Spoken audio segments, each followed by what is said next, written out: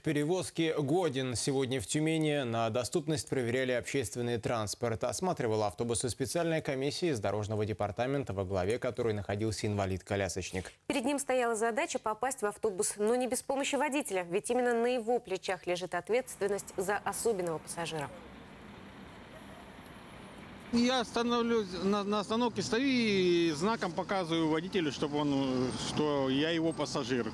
Он подъезжает максимально ближе к бордюру. И, ну, иной раз выходит, э, помогает, а иной раз самому приходится забираться. Вот когда низкий бордюрный камень, очень сложно садиться. Такие рейды проводят уже третий год, и каждый раз комиссия выявляет, пусть небольшие, но нарушения. Среди частых не вышел водитель или сломана посадочная платформа. Сегодня проверку все прошли успешно.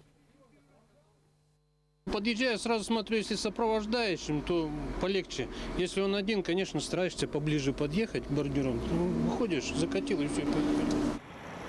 Добавим, сейчас в Тюменской области проживает более 100 тысяч людей с ограниченными возможностями.